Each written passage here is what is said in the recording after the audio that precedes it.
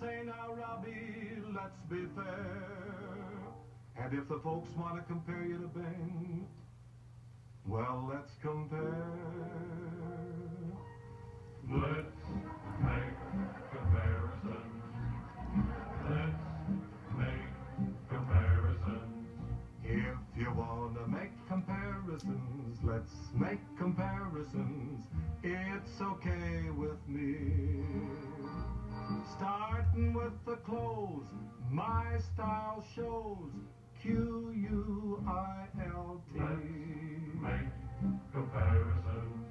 If you wanna make allowances, let's make allowances, but please let's not lie.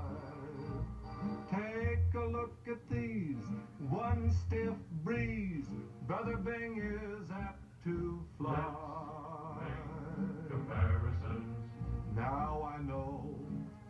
my voice ain't gorgeous, but I try to sing pleasantly.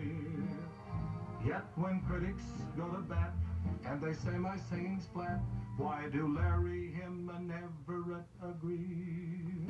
If you're gonna make comparisons, let's make comparisons. What is so is so. Take a look at my physique, trim and sleek,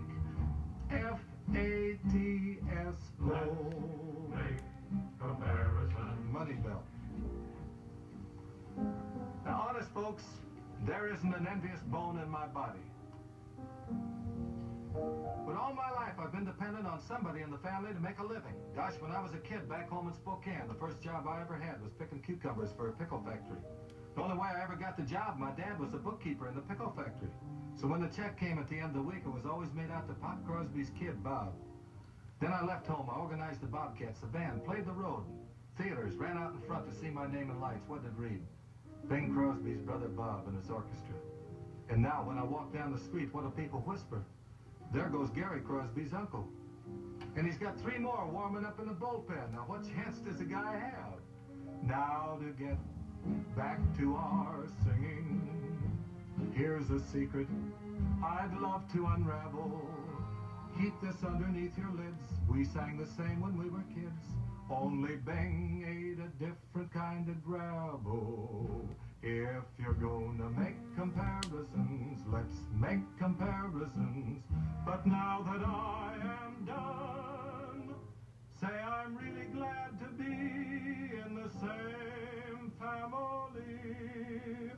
And everything I've said was just in fun.